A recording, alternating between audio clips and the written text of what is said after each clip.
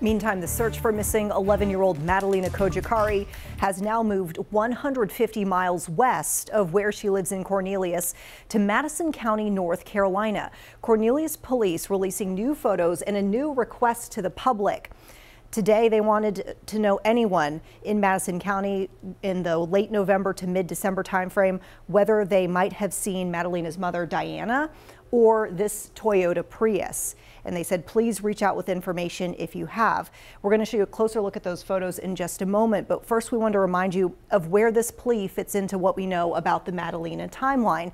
So police are asking for eyewitnesses in that area north of Asheville from November 22nd to December 15th. And you might remember that this is the time frame that starts basically the day after Madalina was last seen publicly, so that was getting off of her school bus. It also includes the point of time where Madalina's stepfather says that he went to Michigan. It goes up until the time that the school starts to become aware that she was missing and then was formally reported missing by her mother.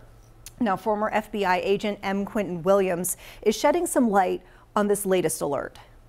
They have some evidence that she was spotted or her car was spotted in this area. Cameras are really important, they're vital. So, anybody with camera footage in those areas or between here and there uh, that might have some footage, that's going to be really important.